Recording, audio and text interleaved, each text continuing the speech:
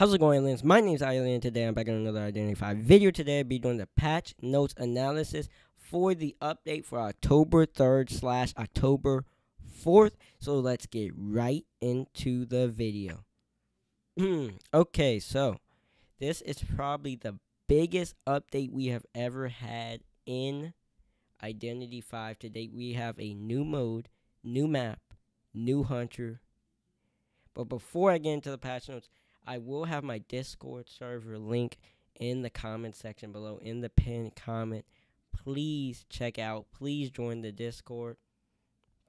It's been growing. It's a fun time. I love talking to all of my subscribers. And if you want to play with me, if you have individual questions, that is the single handedly best place to reach me. It's on Discord. I check, I'm on it literally 24 7. So please join the Discord server. Um and I am back to making videos. I was sick for last week, basically all of last week and some of the week before, but I feel a lot better now.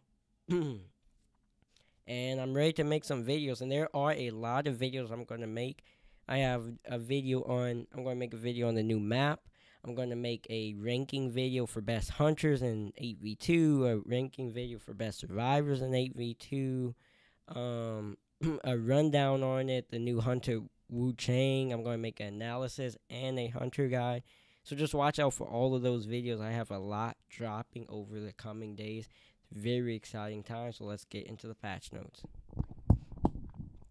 Mm. okay, maintenance content for this week. New gameplay. The new Duo Hunters gameplay pits two hunters against eight survivors in an intense game of cat and mouse. Other game mechanics have also been introduced in this new game mode. This game mode is only available for some phones due to performance limitations. The list of phone models supporting the 8v2 mode iOS is iPhone 6 above, it's iPad Air 2 above. Um, for Android, Snapdragon 808, Exynos 7420, Kirin 935. So, uh, if you have an Huawei phone, uh, if you have processor Kirin 935 or better, you're good. If you have a Samsung phone, but you're an international Samsung, Exynos 7420 or better. and if you have just a regular Android phone, Snapdragon 808 or better. Um, and you need to have 35 persona to play, and then you can pick hunters or survivors. It will be available daily from UTC uh, server time 6 to 8, 16 to 18, 21 to 23. So in American uh, Standard Central Time, this is 6 a.m. to 8 a.m. It is 4 p.m. to 6 p.m. and it's 9 p.m. to 11 p.m. So that's just a rundown. You can convert it to your own time. Uh, Eastern Standard Time is just an hour later. Western Standard Time is just two hours earlier. Mountain one hour earlier. and if you're international, uh, I don't know. So, five telephone booths have been added to maps from where hunters and survivors can phone the owner of the manor and use phones to buy items. These items include those found in previous game modes excluding the Cane, Holy Key, and Lasso, the exclusive ones, and they have new items for the Duo Hunters game mode. Survivors can now carry two items, and Hunters can carry one. And yes, this means Priestess, Perf- uh, Mind's Eye, and Cowboy can now carry an item not that they usually have. Like, a Mind's Eye can have a flare gun or a football. Survivors need to be hit three times to be incapacitated. The first time a survivor is placed on a rocket chair, the match will enter con- the confinement stage, during which time the survivor cannot be rescued from the rocket chair. When this stage ends, a short short rescue stage begins in which the survivor can be rescued. So basically, this is kind of to stop camping because there's no point in camping because it's like 45 seconds that they can't be saved. So you're just wasting 45 seconds of decoding time camping when you can go after other survivors. Um, so yeah, this for everyone who hates campers. I don't, but if you hate campers or whatever, uh, this should be good for you. So there's not that much camping in this mode. The number of cipher machines have been changed to 11. The time required to decode each machine has been increased, and survivors now need to decode seven cipher machines instead of five to activate the gate. When the gate has been activated or when four survivors remain, the crowbar will randomly appear at one of the five booths, and survivors can buy it with the points to open the dungeon in advance, through which all survivors can escape. So this is different from regular. If you buy the crowbar, all four survivors can escape through that dungeon. Um, I skip one.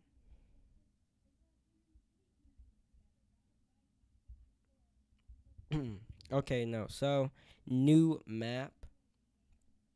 The park has become a taboo subject for nearby residents after a nightmarish gathering.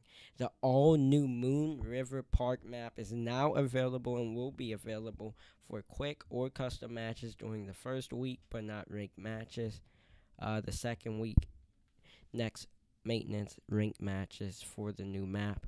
I will have a map overview video on that to just detail it going over with lawyer. So subscribe if you want to see that. An event is also coming. Duo Hunters event. The all new Duo Hunters mode is here. Play three Duo Hunters matches every day minimum of 3,000 deduction points, or win three normal games to complete corresponding tasks during the event.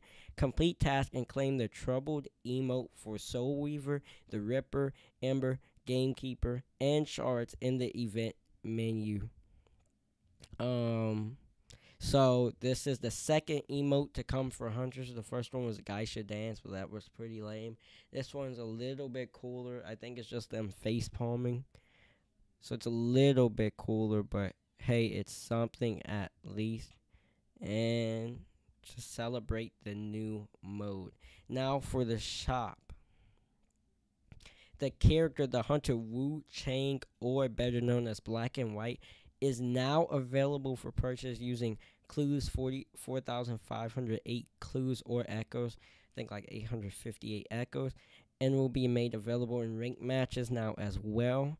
I will have an analysis video on him tomorrow on how good I think he will be, how viable he'll be in ranked matches from a top 1500s perspective, which I am.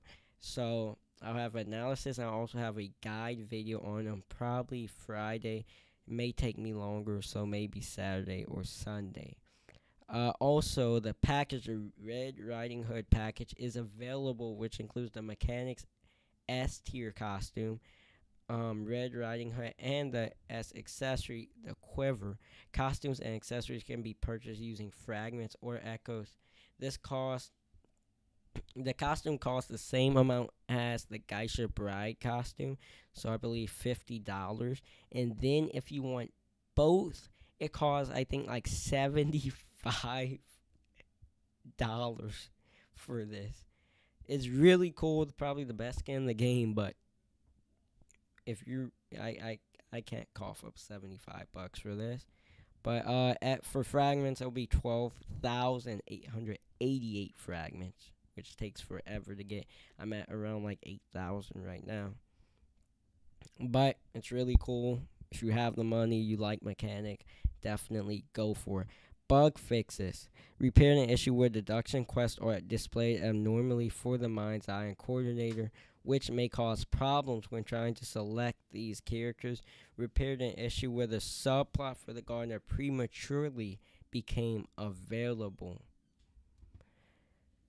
Mm. the subplot content is still under development, but we hope to complete development and release it soon. Hope we didn't spoil your day. Yes, you did. Identity V. You did spoil my day because it's taking forever for them to bring the story content the characters are coming super quick, but the story content is coming painfully slowly, so slowly to global, and this was finally the first new part of story. such a great story, such great lore, and they have to remove it. I didn't even get the chance to do it, but I'm sure when it actually comes out, it'll be great.